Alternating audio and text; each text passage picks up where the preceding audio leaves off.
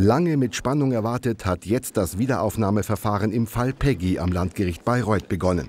Als Ulfi Kulatsch den Gerichtssaal betritt, stolpern Kamerateams und Fotografen fast übereinander. Jeder will das beste Bild von dem Mann haben, der Peggy Knobloch 2001 in Lichtenberg getötet haben soll. Hat die Justiz einen riesigen Fehler gemacht oder ist Ulfi Kulatsch 2004 zu Recht als Mörder verurteilt worden? Diese Frage schwebt allgegenwärtig im Schwurgerichtssaal. So hat sich wieder die komplette deutsche deutsche Medienlandschaft eingefunden. Wie vor zehn Jahren, als Ulfi Kulatsch vor dem Landgericht Hof sein Urteil entgegennimmt. Und auch in Bayreuth drängen sich die Journalisten. Vor Beginn der Verhandlung steht dort eine zuversichtliche Gudrun Rödel Rede und Antwort. Die Betreuerin von Ulfi ist der Auslöser dafür, dass es zur Neuverhandlung gekommen ist.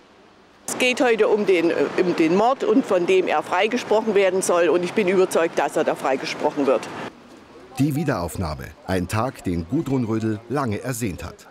Ja, sicher ist es nach der Geburt meiner Kinder der Tag in meinem Leben. Das habe ich mir nie zu träumen gewagt. Auch Teile der Familie von Peggy glauben nicht an die Schuld von Ulfi Kulatsch. Und selbst die Anwältin von Peggys Mutter, Susanne Knobloch, die als Nebenklägerin auftritt, hat Zweifel. Das zeigt schon für alle die überraschende und symbolträchtige Begrüßung zu Beginn der Verhandlung. Susanne Knobloch geht auf Ulfi Kulatsch zu und reicht ihm die Hand. Das ist ja nun ein Verfahren, deswegen stehen wir ja auch heute hier, das aufgezeigt hat, es gibt eine Menge Zweifel. Und sogar so große Zweifel, dass etwas, was selten in Deutschland passiert, es zu einem Wiederaufnahmeverfahren gekommen ist, weil auch das Gericht gesagt hat, mit der Erkenntnis von heute, haben wir Zweifel, ob das Urteil damals, so wie es getroffen worden ist, auch zustande gekommen wäre mit dem Wissen, dass wir im Nachhinein gewonnen haben. Ich habe es ihm von Anfang an nicht zugetraut. Das ist eine relativ perfekte Tat und detaillierte Tat, die er da geschildert hat. Wo er sie her hat, weiß ich nicht, aber ich traue es ihm einfach nicht zu. Körperlich und geistig nicht. Bereits an den ersten Verhandlungstagen gibt es mehrere Zeugen, die Ulfi Kulatsch entlasten.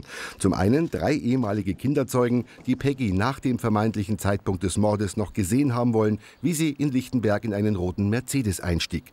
Deren Aussagen wurden im ersten Prozess als nicht glaubhaft bezeichnet. Und die eidesstattliche Rücknahme der Aussage des mittlerweile verstorbenen Peter Hoffmann. Der saß 2001 mit Ulfi Kulatsch in der Psychiatrie der Bezirksklinik Bayreuth und hatte behauptet, Ulfi habe ihm ihm gegenüber die Tat gestanden, was als Basis für die Verurteilung diente. Bis allerdings tatsächlich geklärt ist, ob der Mordvorwurf gegen Ulfi Kulatsch gerechtfertigt ist oder nicht, dafür müssen noch viele weitere Zeugen an den restlichen sieben der neun angesetzten Verhandlungstage gehört werden. Weiter geht's bereits am kommenden Dienstag.